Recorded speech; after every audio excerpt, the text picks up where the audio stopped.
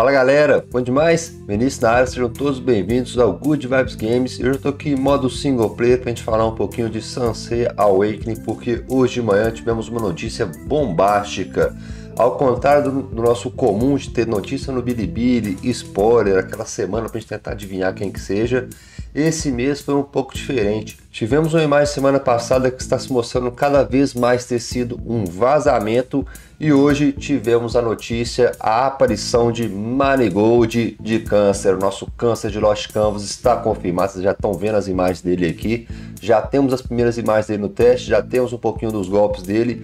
Esse primeiro vídeo aqui é só apresentar para vocês, galera, então para vocês verem um pouquinho dele, verem um pouquinho em ação mas ainda hoje, se tudo der certo, ainda hoje vamos trazer para vocês os vídeos com a primeira gameplay, tradução de skill e já explicando como é que funciona e o que podemos esperar do nosso câncer do Lost Canvas.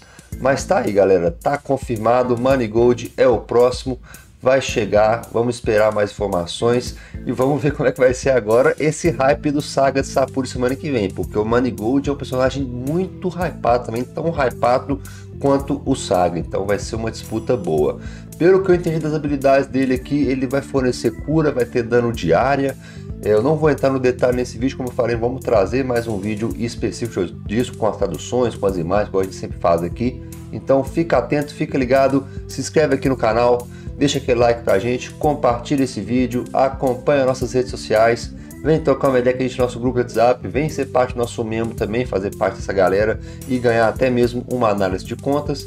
E eu vou ficando por aqui, como eu falei, o vídeo agora é curtinho, mas fica ligado que já já temos mais notícias sobre o Money Gold de câncer. Valeu galera, até a próxima!